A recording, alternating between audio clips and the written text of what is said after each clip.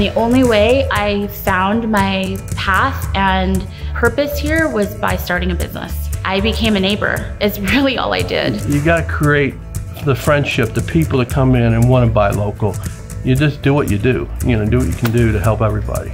Very few people realize that smaller businesses are the larger number of businesses in this country. So many individuals really depend on the success of those small businesses. The local businesses are the ones that are in your storefronts, on your main streets. They're the people involved in your community. What defines a great main street to me is a healthy environment, a walkable environment, a place for businesses to thrive, for healthy, strong neighborhoods to survive and get better. And if we have that ability to make a place better for all people, then let's just do it.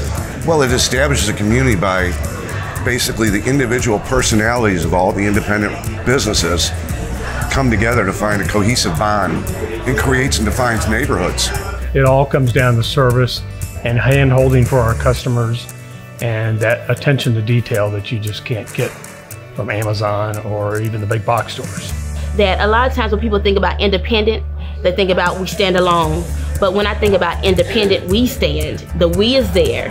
So we're independent because we have independent thoughts and methods. When we bring it to, uh, together with others with like-mindedness, we stand together and we're stronger.